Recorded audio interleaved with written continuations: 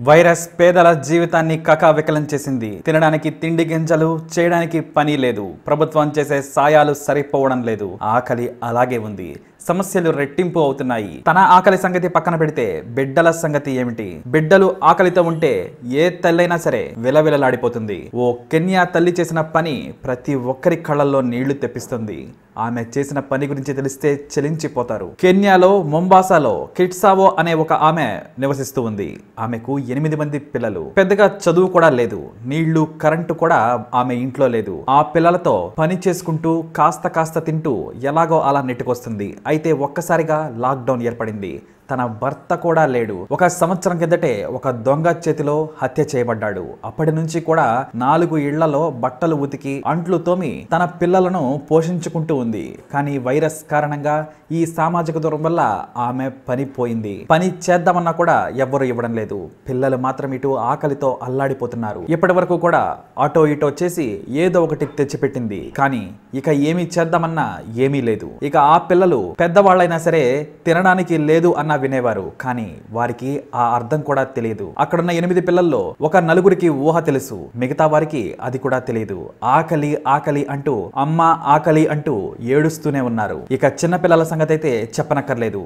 గుక్క పెట్టి మరీ ఏడుస్తున్నారు అడగటానికి నోరు కూడా లేదు. అప్పుడే ఆ తల్లికి ఒక ఉపాయం తట్టింది. పొయ్యి వెలిగిస్తే ఏడుపు ఆపుతారులే అనుకుంది. అందులో కాసిన నీళ్ళు పోసి అక్కడున్న నాలుగు రాళ్ళు వేసి పొయ్యి మీద పెట్టింది. ఆ పిల్లలు అవి చూస్తూ ఏదో ఉడుకుతుంది అమ్మ ఏదో పెడుతుంది అని ఎదురు చూస్తూ కూర్చున్నారు. కానీ అందులో ఏముందో ఆ అమ్మకే తెలుసు. ఆ పిల్లలందరూ కూడా తల్లి ఏదో వండుతుందని చూస్తూ ఉండిపోయారు. వాళ్ళని అలా ఓదార్చి ఏడుస్తున్న పాపను ఒళ్ళో పెట్టుకుని హత్తుకొని ఏడుస్తుంది ఆ తల్లి. అంతలో పిల్లల ఏడుపు విని ఆ పక్కింటి వారు వచ్చి చూశారు.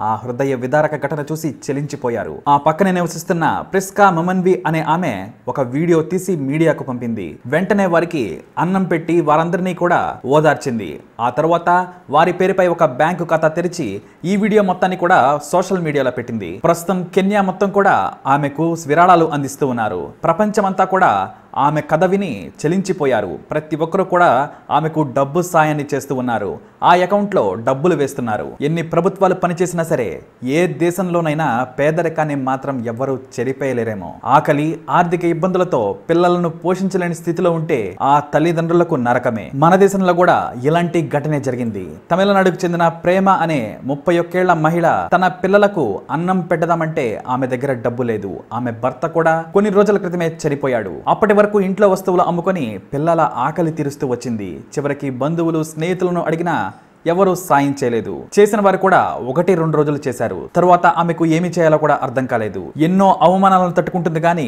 పిల్లల ఆకలి మాత్రం తట్టుకోలేకపోతుంది. వెంటనే ఆమెకు ఒక పిలుపు అందింది. సవరాలు ఇస్తే డబ్బులు ఇస్తాము అని. అంతే వెంటనే ఆ సవరాల వాడిని పిలిచి గుండు చేయించుకొని ఒక నూట యాభై రూపాయలు తీసుకుంది. గుండు గీయించుకున్న మరుక్షణమే పరిగెత్తుకుంటూ వెళ్ళి వంద రూపాయలతో పిల్లలకు ఆహారం తీసుకువచ్చి అన్నం పెట్టి వారి కడుపు నింపింది. అయితే ఆ నూట యాభై రూపాయలలో వంద రూపాయలు ఆహారానికి ఖర్చయ్యాయి. ఆ పరిస్థితులలో జుట్టు ఇచ్చింది కానీ తరువాత ఇచ్చుకుందామన్నా ఆమె దగ్గర ఏమీ లేదు. ఆ సమయంలో కూడా ఆమెకు మరో ఆలోచన వచ్చింది. మిగిలిన యాభై రూపాయలతో పురుగుల మందు కొనుక్కుంది. పురుగుల మందు కొనడానికి దుకాణానికి వెళ్ళింది. అయితే ఆమెపై అనుమానం కలగడంతో దుకాణదారుడు పురుగుల మందు ఇవ్వలేదు. దీంతో ఆమె స్వయంగా విషపు విత్తనాలు తినేందుకు బయలుదేరింది.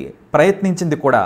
అదృష్టవశాత్తు ఆ సమయంలో ఆమె చెల్లెలు అడ్డుకోవడంతో ప్రాణాల నుంచి బయటపడింది. ఈ విషాదకర ఘటన తమిళనాడులో జరిగింది. ఈ విషయం తెలుసుకున్న ఒక గ్రాఫిక్ డిజైనర్ ఆమె దీనగాథను ఫేస్బుక్లో పోస్ట్ చేశాడు.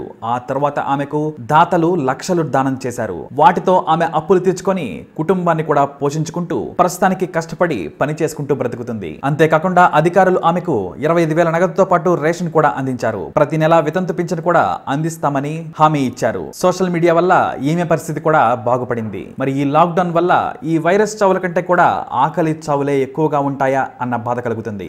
మరి ఇలాంటి పరిస్థితులు ఎవ్వరికీ రాకూడదని కోరుకుందాం. మరి ప్రతి తల్లి బిడ్డ ఆకలి కోసం ఇలానే చేస్తుంది కదా? తప్పకుండా మీ అభిప్రాయాన్ని కమెంట్ ద్వారా తెలియజేయండి. ఈ వీడియో మరిన్ని అప్డేట్స్ కోసం మా ఛానల్ ఫాలో అవ్వండి. అలాగే తప్పకుండా సబ్స్క్రైబ్ చేసుకోండి.